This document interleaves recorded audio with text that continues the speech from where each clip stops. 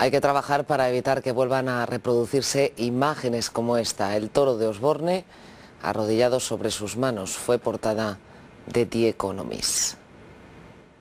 ¿Y cómo lo hacemos? José María Cubillo es doctor en Ciencias Económicas y Empresariales por la Universidad Autónoma de Madrid y director del Departamento de Dirección de Marketing de SIC. José María, buenas noches. Buenas noches. La familia real es un activo importantísimo en la imagen exterior de España. ¿no? Es uno de nuestros principales activos a nivel internacional. La figura del rey es estratégica en nuestra proyección internacional y de hecho no en vano es nuestro mejor embajador.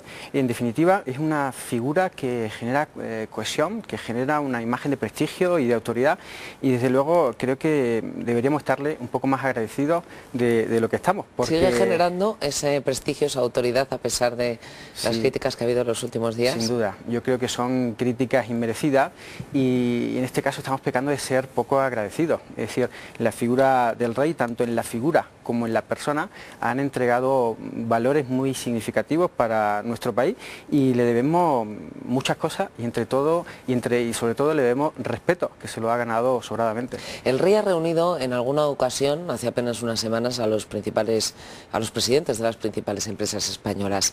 Esa imagen que proyecta al exterior de nuestro país, ¿qué ganancias tiene para España? ¿Cómo revierte a España? Eh, fundamentalmente el problema que tiene España hoy en el exterior es que no genera confianza y parte de esa confianza eh, perdida eh, radica en que tenemos falta de unidad, no proyectamos imagen de unidad. Entonces hoy lo que necesitamos es trabajar las palancas de la imagen internacional de, España y fundamentarlas precisamente en unidad. Debemos trabajar todos juntos y debemos trabajar y remar en el mismo sentido. Unidad eh, Ahí están todos unidos, ¿o se refiere a la unidad política? Bueno, yo creo que la unidad trasciende las empresas, desde el punto de vista de la empresa lo tienen muy claro y hay instituciones de este ámbito que llevan trabajando activamente desde hace 10 años, sin embargo, eh, nosotros podemos ver que hoy existen fuentes de distorsión importantes, ¿verdad? ¿Cuáles? Eh, por ejemplo, podemos ver eh, confrontación social, crispación política que está Las tratando... imágenes, por ejemplo, eh, de los altercados en eh, Barcelona, Por en ejemplo. la- el día de la huelga general. Por ejemplo, ver cómo hay piquetes en las calles, gente apedreando sucursales bancarias, quemando coches por las calles, para un país que vive y que tiene una cierta dependencia del turismo es un grave error y genera una imagen ciertamente negativa. Influye directamente en la intención de compra de los turistas. Es decir, hoy cuando un turista esté pensando dónde voy a pasar mi vacación el próximo verano, estará pensando si paso mi, destino, eh, baso mi decisión de destino turístico en un sitio tranquilo donde pueda pasar mis vacaciones plácidamente o por el contrario me voy a un país donde hay piquetes en las calles y, y me van a eh, violentar cuando esté en una cafetería. Porque no piensan que es un día puntual, que puede ocurrir en cualquier Claro. momento. Claro, efectivamente. Nosotros tenemos claro que vivir en España es vivir tranquilo, eh, tener una situación absolutamente calma y que estas situaciones se generan de forma puntual y además son siempre los mismos. Sin embargo, la imagen internacional que se proyecta eh, es distinta. Es decir, cómo captan las audiencias este tipo de información eh, es distinta. Imagen también negativa en los mercados. Por más reformas que hagamos, por más que nos avale el Fondo Monetario Internacional, la Comisión Europea, aunque Sarkozy nos esté dando a cuenta de la herencia de Zapatero, eh, en los mercados siguen sin creer en nosotros. ¿Por qué?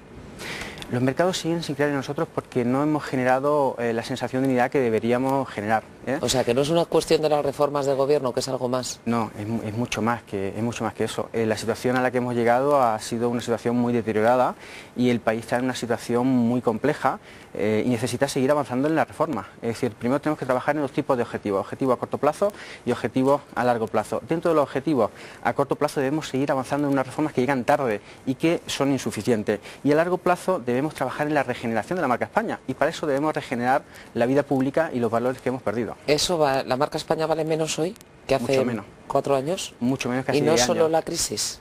No, Eh, la situación de crisis que vivimos ahora no podemos decir que sea una sola crisis. Nuestra crisis es la sumatoria de un conjunto de crisis en todas las dimensiones de la marca PAI. En definitiva, eh, de lo ¿Cuáles son trata- esas dimensiones? Las dimensiones son la económica, la social, la institucional. La económica, eh, basta con ojear cualquier Sí. noticiario cada día para saber lo que ocurre. El desempleo absolutamente desbocado, los niveles de pobreza en cotas que ya casi habíamos olvidado. Y la dimensión institucional, entre otras, con atributos muy poco positivos, como la inoperancia, la ineficiencia, la corrupción, etcétera.